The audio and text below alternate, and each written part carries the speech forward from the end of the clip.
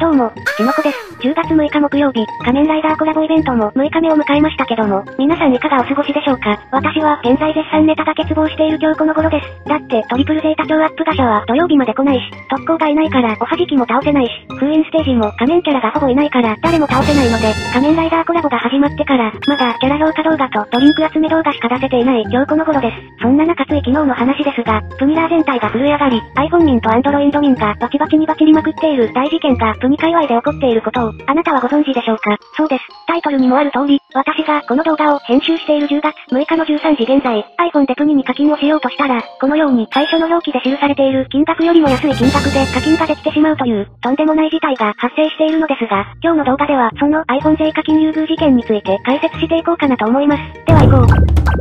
う。アップルストアが課金額の約3割増しの値上げを実装したことに合わせて、ぷにぷにでも課金アイテムの金額を調節するため、昨日のお昼頃から夕方にかけてメンテナンスがありました。その後、少し延長はしていましたが、無事メンテナンスが終わり iPhone、Android ともに順調に課金価格の調整が済んだと思われていましたが、その後、衝撃の事実がプニ界隈全体を震え上がらせます。なんと、Android 端末だと順調に金額調整が終了したように見えていましたが、iPhone 端末で課金をしようとすると、なんと、表記の価格よりもかなり安く、課金アイテムが購入できてしまうことが発覚。昨日のプニ界隈の TL はこの話題で持ちきりでした。iPhone 民は困惑しながらも大歓喜。Android 民は大激怒といった感じでした。例を挙げますと、表記上そして Android 民は480円で買える目指せトリプルデータコインが iPhone 民だと370円で買えてしまい、表記上そして Android 民は2900円で買える新参ダブルデータコインが iPhone 民だと2200円で買えてしまい、今入れの一番の長期超アイテムの元気ドリンクでさえ、160円が120円、ドリンク L は650円から490円、Y ポイント1万5000ポイントも9800円が7500円で買えてしまうという、一部のユーザーだけが超お得価格で課金ができてしまうという、前代未聞の大事件が起こってしまっています。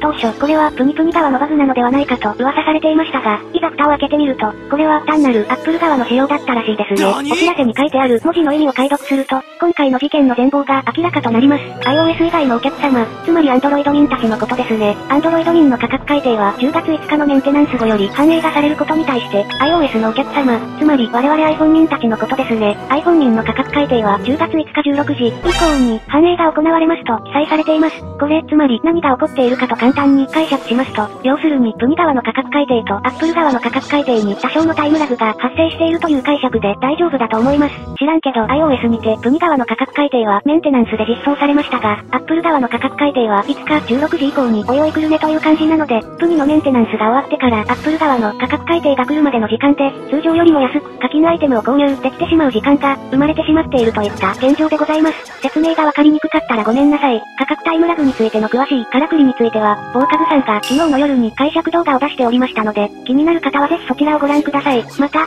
くまでこれはこの動画を編集している10月6日の14時現在の話なので、この動画が上がる頃には Apple の反映が行われて iPhone 民も本来の価格になっている可能性も十分にあるため、そこのところもご了承ください。